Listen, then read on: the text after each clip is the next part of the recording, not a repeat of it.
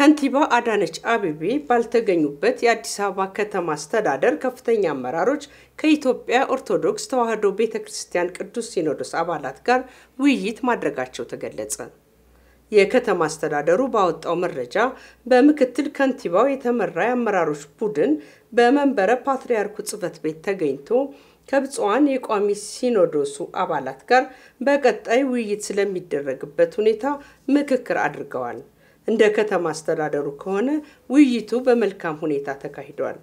የአዲስ አበባ ከተማ አስተዳደር ከንቲባ አዳነች አቤቤ በውይይቱ ላይ ያልተገኙት በትላንትናው ዕለት የጀመረው የአዲስ አበባ ከተማ ምክር ቤት በዛሬው ዕለት ቀጥሎ በመዋሉ ምክንያት መሆኑ ነው የተገለጸው።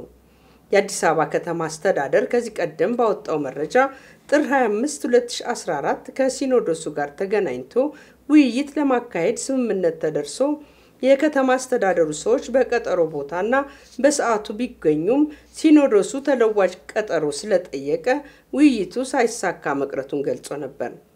ኋላም የአዲስ አበባ ከተማ ከንቲባ አዳነች አቤቤ ባለፈው እሁድ ጥር 29 ከብፁዕ ወቅዱስ አቡነ ማትያስ ጋር መገናኘታቸውን የገለጹ ሲሆን በዚሁ ደብዳቤ ከአቡነ ማትያስ ጋር ችግሩን በውይይት ፈጥነን በሕጋዊና ሰላማዊ መንገድ ለመፍታት ተቀራርቦ መስራት እንደሚገባ ተወያይተናል ብለዋል።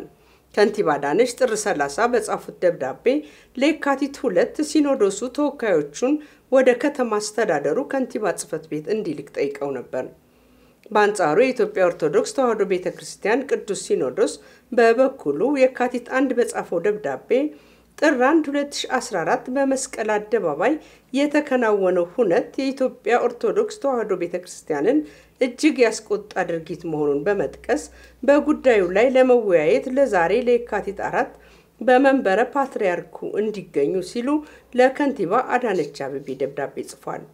የዛሬውን ውይይት ተከትሎ ሁለቱ አካላት ባካሄዱት ውይይት ያለውን ነባራዊ ሁኔታ ከግምት በማስገባት በጋራ ስምምነት ለቀጣይ ሳምንት ማክሰኞ የካቲት 8 2014 ተለዋጭ ቀጠሮ በመያዝ በቅዱስ ሲኖዶሱ ጽሕፈት ቤት ለመገናኘት በጋራ ተወስኖ ቀጠሮ እንደተያዘ የአዲስ አበባ ከተማ አስተዳደር ገልጧል።